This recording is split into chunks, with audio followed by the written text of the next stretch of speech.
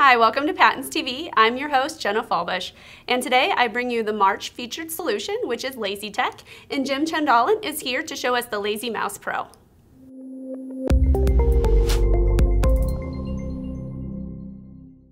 We're going to start with our mouse unit and uh, attach it firmly to our headset.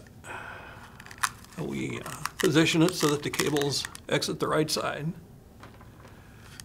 We plug in the unit's uh, microphone and we plug in the cable for the USB.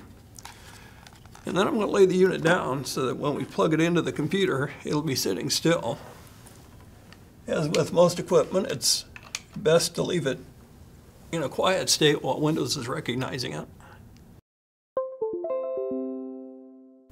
We'll be demonstrating it here on a computer we've uh, never plugged into before, so you'll get to see the uh, installation screen. Uh, now that it's been recognized by the computer, we'll, uh, we'll put the headset on. I'll get comfortable looking at the center of the screen, and then I'll push the home button. That actually calibrates the unit to where it's positioned. And from there, it's just a matter of tipping my head. The uh, cursor moves by a tipping action.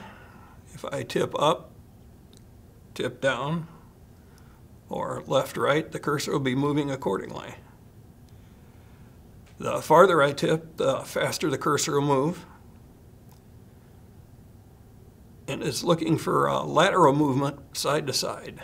It's designed to uh, ignore rotation so I can look off to the side uh, to read documents or whatever.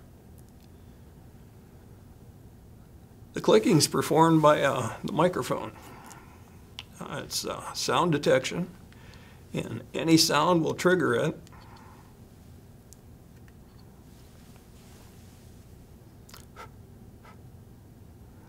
What we have on the screen is just a, uh, a basic practice site for mice.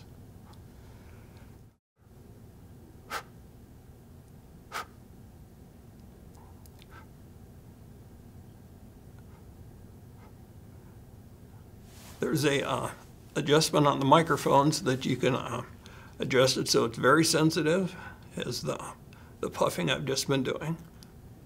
Or you can adjust it upwards so that no amount of noise will trigger it at all. That's got a very wide range. We've designed our mouse for uh, folks with physical disabilities that need an alternative to the typical handheld mouse. The quick start guide we just went through will be on our website under the documents section. Well, thank you, Jim, for joining us today. We appreciate your time. Well, thank you for having us. Yeah, and you mentioned that the Quick Start Guide is on your website, and can our users find more information online? Uh, yes, they can. We have a website at lazeetek.com. That's L A Z E E T E K.com.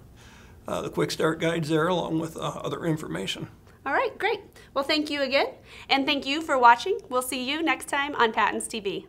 Find us by searching PATINS Project on Facebook, Twitter, or YouTube, or on the web at patinsproject.org.